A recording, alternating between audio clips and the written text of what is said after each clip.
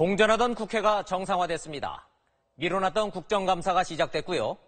이번 주 내내 핵심 쟁점을 놓고 여야가 치열한 공방을 벌이고 있습니다. 이번 국감의 핵심은 미르와 K스포츠 재단 문제, 우병우 민정수석, 그리고 백남기 농민 부검 문제입니다. 여야가 양보하기 힘든 사안들입니다. 먼저 미르 재단부터 짚어보겠습니다. 야당은 이번 국감을 최순실 차은택 국감으로 규정했습니다. 당연히 두 사람을 증인으로 채택하느냐 마느냐를 놓고 공방이 벌어졌습니다. 적어도 최순실, 차은택 두 명만은 그 꼭 증인으로 세워야 합니다. 자꾸 고의적으로 시간 좀. 아 이게 뭔 고의적이라고 그래 위원장의 책무고 의무아니냔 말이야 어디서 그런 말이 있어 우리는 그렇게 보여요. 아니 당연히 확인을 해야 할 거 아니야 이걸 미르와 K스포츠 재단에 대한 여야의 전략은 처음부터 정해져 있었습니다. 야당은 최순실, 차은택 두 명을 국회로 불러낸다는 전략이었고 여당은 막겠다는 입장이 분명했습니다. 상임위가 교문이었고 위원장이 야당 몫이기 때문에 일단 여당에 불리한 상황이었습니다. 하지만 새누리당의 강력 저지에 밀려 국감은 정해와 속개를 반복했습니다. 결론은 최순실, 차은택 증인 채택 무산이었습니다. 두 사람이 국회에 나와 이건 진실이고 저건 거짓이고 재단을 둘러싼 숱한 의혹에 대해 실체적 진실을 밝혀주길 기대했지만 현실적으로는 어려워졌습니다. 관련된 핵심 쟁점이 하나 더 있습니다. 우병우 민정수석 문제입니다. 우선 아들의 의경 보직, 그러니까 운전병 보직 특혜 의혹인데 경찰의 국감 답변이 논란을 불러일으켰습니다.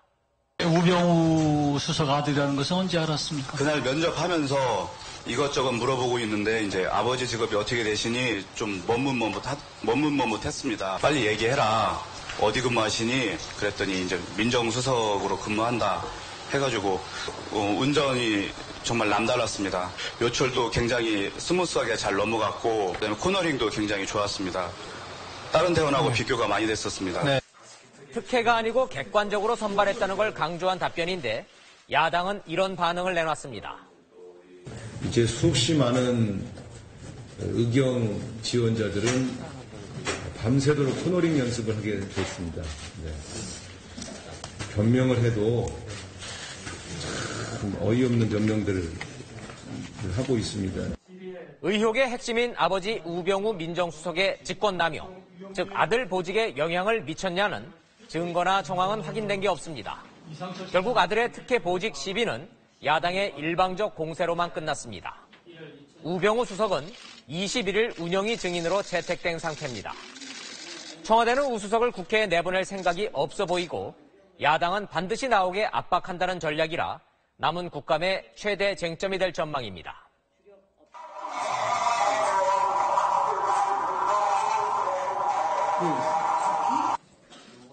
지난주가 단식 정국이었다면 이번 주는 부검 정국이라고 해야겠습니다.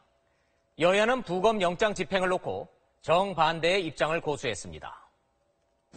사인이 명백할 경우에는 그것이 외인사라 하더라도 어, 굳이 부검까지 가족들이 반대하는 상황에서 하지 말아야 된다고 저는 생각하는데 어떻습니까? 지금 필요한 것은 부검이 아니라 특검입니다. 국가 공권력을 집행하는데 당사자들하고 일일이 다 그 협의해가면서 할 수 있어요? 그럼 앞으로 다 부검 반대하면 다른 사건에서 그럼 안 할 겁니까? 백남기 농민은 시위 도중 경찰이 쏜 물대포를 맞고 쓰러져 뇌출혈로 내사 상태에 있다 사망했습니다. 야당은 교통사고 환자가 중환자실에서 뇌사 상태로 있다 사망한 경우와 뭐가 다르냐고 지적합니다. 경찰이 굳이 부검을 고집하는 이유가 혹시 다른 병 때문에 사망한 건 아닌지 기대하고 있다는 거죠. 반면 여당은 부검을 통해 사인을 명백히 가리자는데 무슨 꼼수가 있겠냐며 경찰의 입장을 두둔하고 있습니다.